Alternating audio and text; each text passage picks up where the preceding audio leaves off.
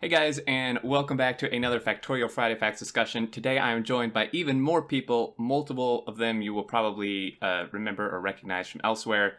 So I guess uh, I don't even remember everyone that's in here. We have Shred Guy, Scarhoof, Root Negative, Peter Taylor TX, Anominate, uh, Gepwin, and A Crying Shame. Uh, several of these guys were with us last time, but yeah. Hey guys, Morning. Hey, everybody. Hello, everybody. I just like to point out who he mentioned first. That's because your name is right above mine in the ordering.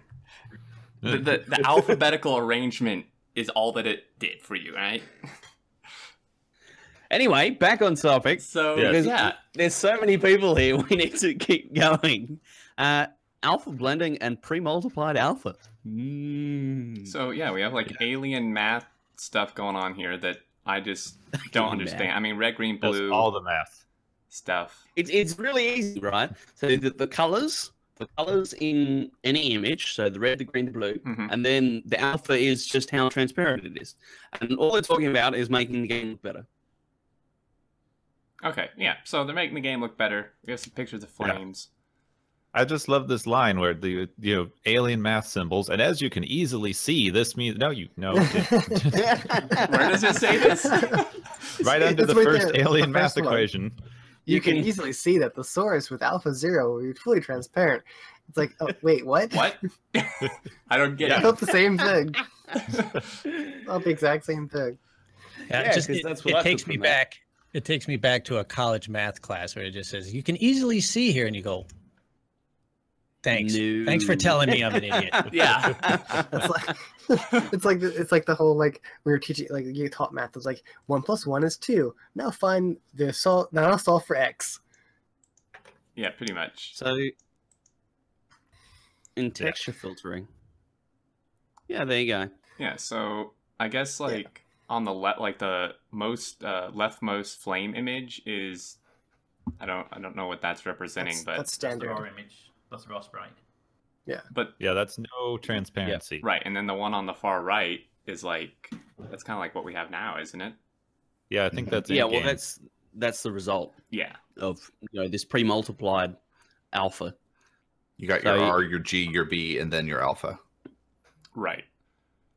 So it seems like um, it seems like the um, yeah. Besides a slight performance gain from the GPU not having to do a bunch of multiplication all the time, this equation allows us to do some extra effects we couldn't do without pre-multiplied pre-multiplied alpha. So from what it seems, A makes the game look that better. B lets them do more stuff. Sounds pretty good. yes. Yeah, that's why it's good. I think that's a brilliant summation. Yeah, I love all these little auto- optimizations that they do. Altogether, Mm, it's- they, it's- they, they it's make the game actually- a lot better.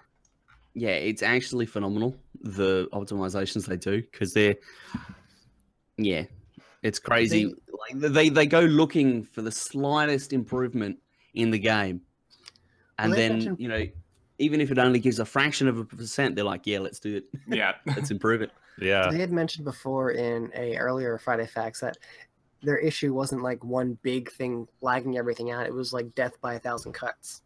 Yeah, exactly. yeah. Well, of course, you've got 10 million items on screen at once. It's amazing to me that the game doesn't just crash outright every time I play it. yeah, that's true. So It's very true. Yeah, with, with the amount of moving things, yeah, that's right. Yeah. So heading down, I would say, at least for me, the most exciting part, um, rail related things. So yeah. they've Yep. kind of finished, I guess, what the improved rails are going to look like. Seems like more or less. It says there might be a couple of little tweaks, but uh, I would like the new HD rails. That have, like you, you don't think about it, but when you if you see them like side by side with the rails you have now, it's a massive improvement. Oh yeah, definitely. Yeah, having these all over your world is just going to look fantastic. Although I am like triggered to hell and back again, man. These signals. I pointed this out to you guys, and the commenters, the people who watch this, can let let us know. But these leftmost two signals on this, uh, the far I'm more left triggered by this crane, man. I, I'm, I- I'm more because I that's don't like completely this- wonky. Why is there a chain signal in the middle of the bottom rail? Like, what is that accomplishing? This this is not going to do anything. Yeah, someone hasn't watched the uh, all the, the train tutorials that are out there on YouTube. That's that's Yeah. not Yeah. good uh, train signal usage. But but seriously, like these signals on the far left, and even the other one that's like it, they just look like smashed or or crooked. I mean, But it looks like the if you look at the lines going into the lights, it, they're kind of at an angle.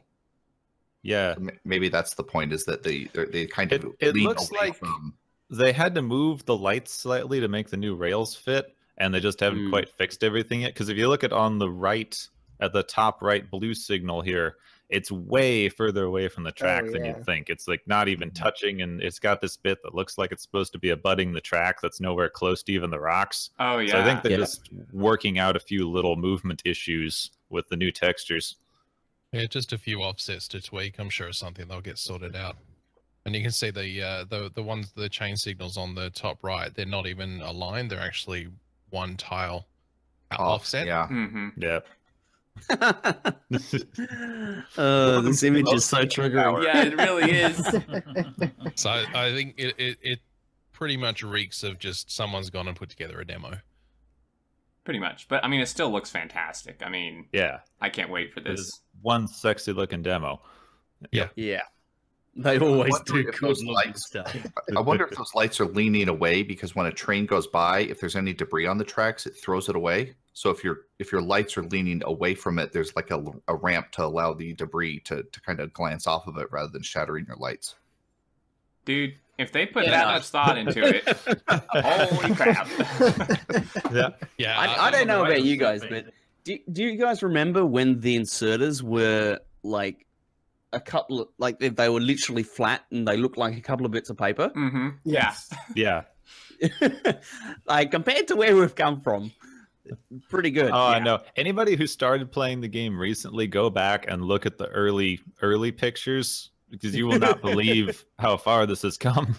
Yeah, it's pretty There was Yeah. actually somebody who went back and started playing one of the super early versions and was doing a stream of it, where like the the belts didn't even look like belts; they were just blocks with arrows on them. Yeah, yeah, that's what it used to be. Yeah. So Um, it's come a long way, that's for sure. No kidding. yeah, I mean, really, it's another one that is uh, the train things are cool. Uh, other than that, I wouldn't say it's that great for discussion purposes. Um, so that's Well, the only thing kind of it. I had was like you're you guys are poking at the the signals, but if you look at the the crossroad where it actually the two rails cross, I noticed there it's, it's not like it, it looks like it's just two lines crossing rather than actual rail setup. So it's probably something just added to the you know this is a demo thing, but it's something that I noticed underneath the uh the No, locomotive I- itself. I think that's actually what it's going to do because the way, as I understand it, the way they kind of overlay rails that cross is they effectively have an order on which each element is kind of applied. So you have, you know, the gravel goes underneath, and then it puts all of the the the, the ties, the rail ties, Hmm. go on, and then it puts the rail over the top. So there's not a separate sprite that defines what a what it looks like when rails go over the top of each other. It's just uh, the existing sprite textures overlaid. yeah. Yeah, because you wouldn't normally see this Yeah. in real life, right? You wouldn't Yeah, ever you'd have see a crisscross of Well, rail you- signals. You rail might, No. but you'd you'd have to add some like track ties T-junction. and things. No, like a T junction with rails just doesn't happen. Yeah. yeah, that's just no. How how often has anyone actually used this? I don't think I've ever made a T junction like in my game. I always use the Yeah, use the so, I don't roundabouts either. and I did very early on, and then it ended poorly. Wait. so I've never done Whoa, it whoa, since. whoa, whoa! Are you guys gonna be building roundabouts in this world? Because if you are, I just need to go to a whole nother section of it. well, now now we're getting into Oh. spoiler territory. Well, I'm, I'm from the UK. We haven't And I got think that that- so. I think that that's probably a good place to to wind it up. Yeah, I think this is probably good. If eh, if anyone has any last thoughts, I like trains. I like trains. very insightful. All right, I think uh, I think that'll do it. As always, guys, thanks for watching. We'd love to hear your thoughts and discussion down below in the comments. But until next time, we will uh, catch you later. See you, Bye. everyone. Bye. Bye.